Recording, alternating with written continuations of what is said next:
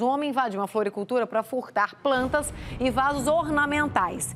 Ele só não esperava dar de cara com o dono do imóvel, que já tinha chamado a polícia. Todo mundo esperava pelo cidadão do lado de fora. Olha aqui.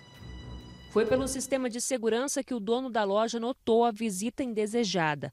O ladrão de plantas foi flagrado por quatro câmeras de segurança da empresa de paisagismo na Vila Maria, em Goiânia. Era 7h22 quando a entrada do criminoso começa a ser gravada.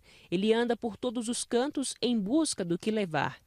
Depois de arrombar a grade lateral da empresa, o alarme foi acionado e o empresário teve acesso às imagens de câmera de segurança que confirmaram ali a entrada do criminoso. A polícia militar foi chamada e chegou ao local junto com o comerciante.